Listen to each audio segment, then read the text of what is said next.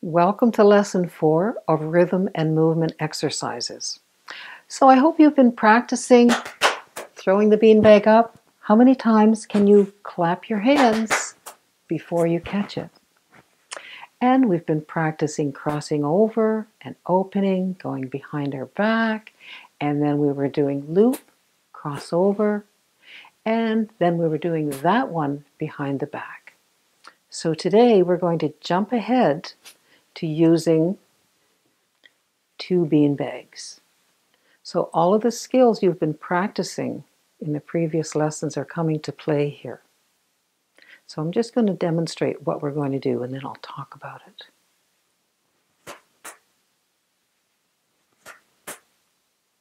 So as I'm tossing the first one up, I'm immediately slapping the second one across.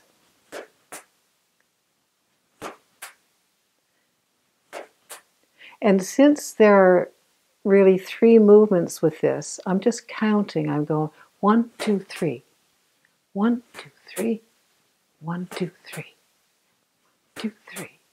And then when you get it, after you've started with your right hand or your dominant hand, start tossing with that one. Then try the other side. One, two, three, etc. So this is a little bit difficult, but practice and I'm sure you will get good at it. And next time we're going to add something onto that. See you then.